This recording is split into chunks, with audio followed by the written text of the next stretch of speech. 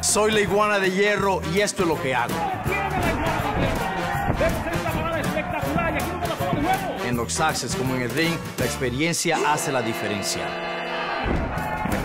Aquí, cada golpe está calculado. No hay lugar para errores.